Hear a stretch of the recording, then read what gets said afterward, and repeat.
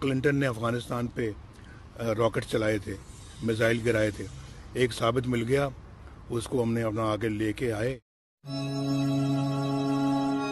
तो दोस्तों, मैंने आपसे कहा था कि पाकिस्तान की बाबर सबसोनिक क्रूज मिसाइल को मैं एक्सपोज करने वाला हूँ और एक वीडियो बनाकर आपको बताऊँगा, जिसमें इस वीडियो में पाकिस्तान का प्रधानमंत्री खुद कहेगा कि जो बाबर क्रूज मिसाइल है, वो दरअसल कॉपी है और उसने किस देश से कॉपी की है, ये भी वो प्रधानमंत्री खुद बताएगा। जी हाँ पाकिस्तान का प्रधानमंत्री, याद रखिए।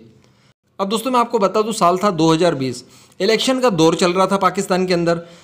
इसी को लेकर नवाज़ शरीफ, जो कि पाकिस्तान के प्राइम मिनिस्टर थे, उन्होंने उत्साह में आकर यूके के अंदर उस समय थे वो, और ये बयान दे दिया कि दरअसल पाकिस्तान के अंदर जितनी भी मिसाइलें हैं, वो सारी उनके कार्यकाल के दौरान बनी हैं। उन्होंने पाकिस्तान को इस मुकाम तक ले जाने के लिए बहुत मेहनत की है और जमाने भर की इधर उधर की बातें कर दी। उसके बाद वो सडनली आ गए क्रूज मिसाइल के ऊपर, जिसका नाम है बाबर। अब दोस्तों, बाबर को लेकर जो उन्होंने कहा, दरअसल उन्हें पता नहीं कि वो क्या कह रहे हैं, लेकिन फिर भी वो सच्चाई उगलते रहे। उन्होंने ये कहा कि जब अमेरिका के राष्ट्रपति थे बिल क्लिंटन, उस समय अफ़गानिस्तान में मौजूद तालिबानी आतंकवादियों के ऊपर अमेरिका ने एक मिसाइल फायर की थी। ये मिसाइल वही थी, टॉम हॉक मिसाइल, जो कि क्रूज मिसाइल है।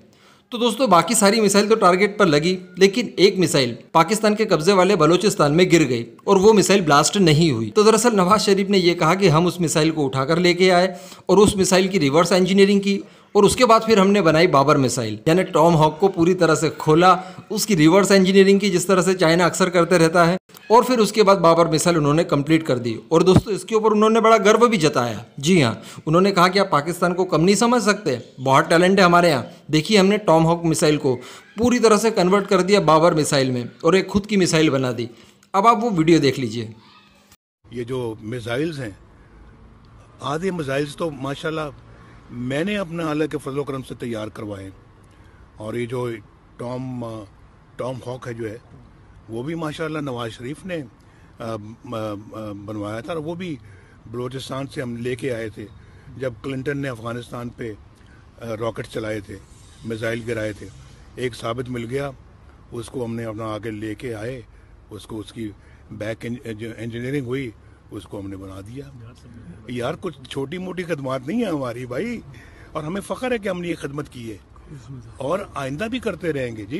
Cruise missile cruise cruise. मैं टॉम हॉक कह रहा हूँ क्रूज मिसाइल की बात कर रहा हूँ।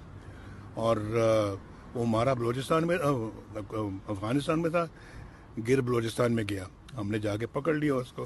तो दोस्तों, देखा ना आपने, ये 2020 का वीडियो है। उस समय नवाज़ शरीफ इंग्लैंड के अंदर मौजूद थे और वहाँ से उन्होंने इस तरह की बयानबाजियाँ की, जिससे उन्होंने अपने खुद के ही मिसाइल प्रोग्राम को पूरी तरह से एक्सपोज कर दिया।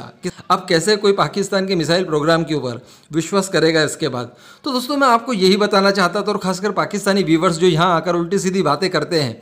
तो आप देखिए, आपकी मिसाइल कॉपी भैया, हमारी मिसाइल कॉपी नहीं है। डीआरडीओ लगातार इस मिसाइल को और ताकतवर बनाने के लिए पूरी पूरी मेहनत कर रहा है। आपकी मिसाइल का हमारी मिसाइल से कोई कंपेयर हो ही नहीं सकता। ये ओरिजिनल टेक्नोलॉजी बेस्ड है।